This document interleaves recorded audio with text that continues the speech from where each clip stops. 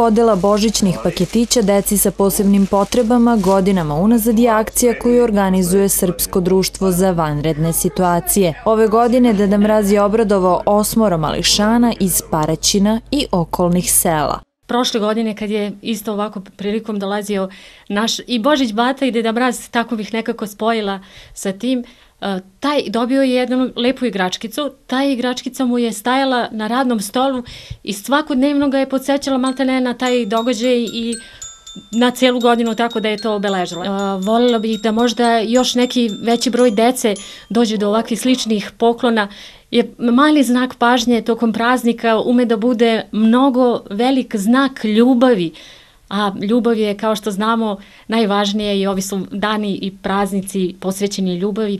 Akcija živi zahvaljujući onima koji doniraju igračke i slatkiše, ali i ljudima dobre volje koji paketiće dopreme do dece, pokažu da im je stalo i izmame osmehe i mališana i njihovih roditelja.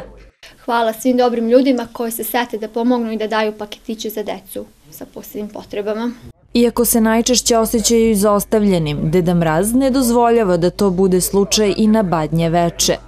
Ni sneg, ni minus nisu bili prepreka da se ispuni misija. Koliko ovaj gest znači porodicama, govore i emocije koje u ovakvim trenucima ne mogu da se sakriju. Stvarno sam e, dinuta što je to već nekoliko godina se ponavljao od sa vaše strane i sve to i hvala vam puno.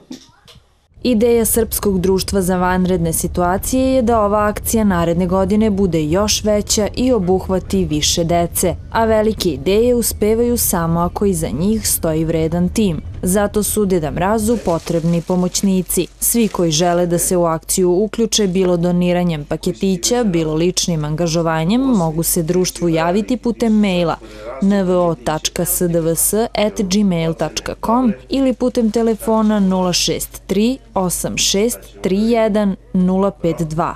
Koliko smo vredan tim, saznaćemo već narednog Božića. Pao je prvi sneg Іди в язері покрути клали, потягши свой справді збіг, а земля урозлива, нігде сата жива стадила, і впаде первісник.